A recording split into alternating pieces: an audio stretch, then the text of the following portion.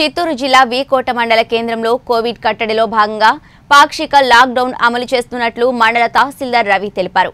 ప్రజల విజ్ఞప్తి మేరకు ఈ నిర్ణయం తీసుకున్నట్లు తెలిపారు.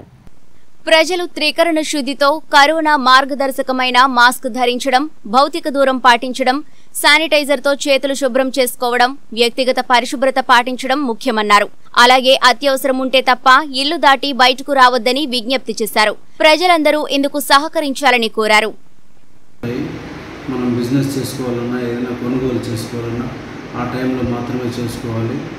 అటు తర్వాత అన్ని షాప్స్ లాక్డౌన్ స్వచ్ఛందంగా లాక్డౌన్ చేసుకుంటున్నారు కాబట్టి మీకు ఎటువంటి షాప్స్ తెర తెరిచి ఉండవు. ఒక medical shops hospitals milk centres తప్ప మీకు అన్నీ కూడా క్లోజ్లో ఉంటాయి.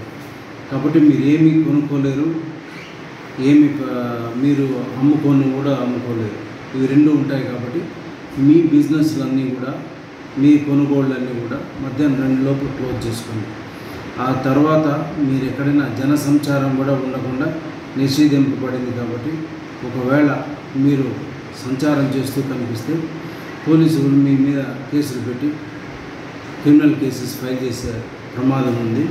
దయచేసి బయట తిరగండి మామూలుగా కూడా నా విజ్ఞప్తి ఏంటంటే మీరు ఏ ఆ పని మీద రావాలనుకున్నా ఆ పని ఒక ఆవశ్యకతను ముందు ఆలోచించండి. ఆ పని ముఖ్యమా? రేపు ఎప్పుడన్నా చేసుకోవచ్చా? లేదు ఒక నెల తర్వాత చేసుకోవచ్చా అనేది పదిసార్లు ఆలోచించి అతి ముఖ్యమైనదే అటువంటి మాత్రమే రావాల్సి ఉంటుంది. అతి ముఖ్యమైనది అంటే ఏమనిపిస్తుంది? మీకు ఫుడ్ ఐటమ్స్ ఏమైనా కొనుక్కోవాలన్నా లేదు హాస్పిటల్